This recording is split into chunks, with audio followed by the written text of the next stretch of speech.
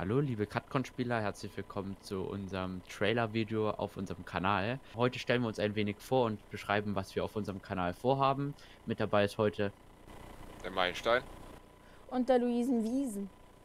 Ja, und zusammen äh, wollen wir euch ein bisschen äh, Catcon-Hilfe geben und äh, dabei noch ein bisschen Let's Playen. Also wir wollen zeigen, was wir so im Privaten machen, also auf unseren eigenen Grundstücken, was wir so ähm, ja, hinbauen oder allgemein Redstone-Schaltungen, alles mögliche und wollen euch gleichzeitig auch noch ein bisschen helfen, um ein bisschen auf dem Minecraft-Server CutCon äh, zurechtzukommen.